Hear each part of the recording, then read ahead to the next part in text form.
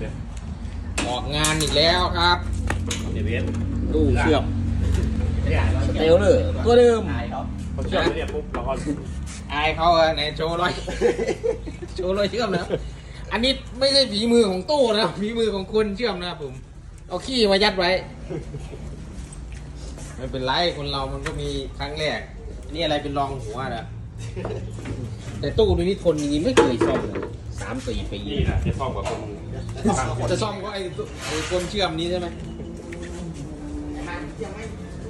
ไม่ยากอะไรประหยัดแต่จริง ๆ ถ้าเกิดเราเราไม่มีตู้อะตู้ตัวนี้ราคาไม่ถึงพันนะถ้าเราไม่มีตู้เราไปจ้างเขานี่แพงเลยนะแผลหนึ่งเขาคิดเยอะอยู่นะ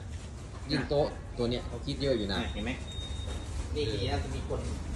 เกี่ยวเกี่ยวได้ดีนะมีช่างฝีมือขนาดนี้แนวตั้งด้วยไม่เอาตังค์ขอให้มีตู้เห็นไหมเอาอย่าไป แง่มันสิไม่มีตังค์แต่ก็พังเป็นงานงานๆไป เอาไงเอาอีกเอาตรงไหนอีกมั้งบอกมาเดี๋ยว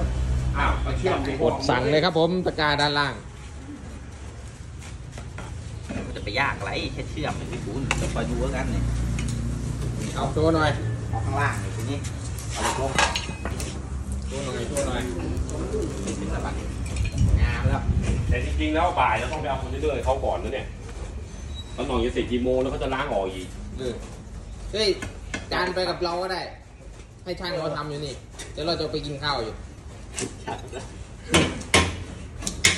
พี่เนยไหนร้านน้อง